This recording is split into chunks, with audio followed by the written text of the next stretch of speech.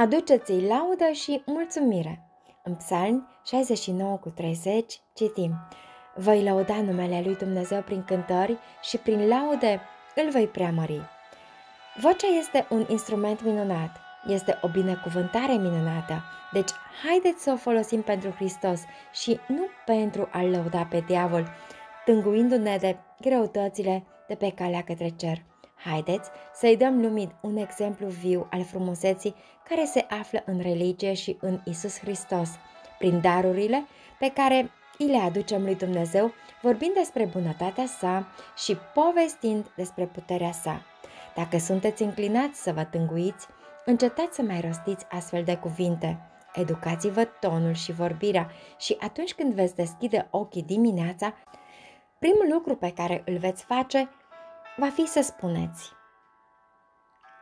Îi mulțumesc lui Dumnezeu, El m-a ocrotit în noaptea aceasta.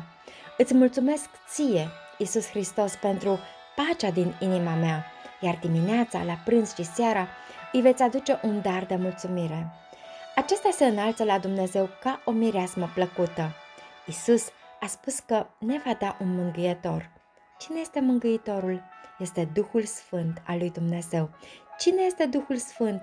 Este reprezentantul lui Isus Hristos, este apărătorul nostru care stă lângă noi și care aduce cererile noastre înaintea Tatălui, înmiresmate cu meritele sale. Acolo, el primește cererea celui mai umil dintre sfinți. El nu vă întreabă câți bani aveți sau ce averi dețineți, ci îl primește chiar și pe cel mai umil sfânt cu cererea lui și cu darul lui de mulțumire, care sunt înmiresmate cu bogățiile harului său. Tatăl îl primește ca fiind darul vostru și primiți binecuvântare și har după har. Când aduceți un dar de mulțumire, Dumnezeu este proslăvit și El vă oferă mai mult. Când aduceți ca dar recunoștința, El vă dă și mai multă bucurie. Noi învățăm să lăudăm pe Dumnezeu, de la care vin toate binecuvântările.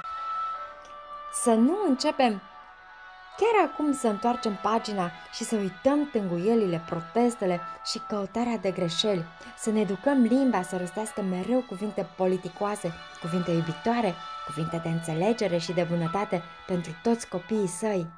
Hristos, nădejdea slavei, să ia chip în noi prin roadele pe care le aducem și în acest fel îl vom arăta lumii pe Mântuitorul cel viu. El a înviat. El a rupt cătușele mormântului. Biruitor, el tresaltă de bucurie deasupra mormântului, împrumutat de Iosif.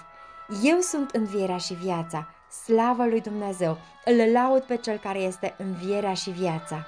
Aveți un mântuitor viu. Așadar, suflete neputincioase, prindeți-vă de Isus Hristos, rămâneți în viță și aduceți roadă spre slava sa și bucuria sa.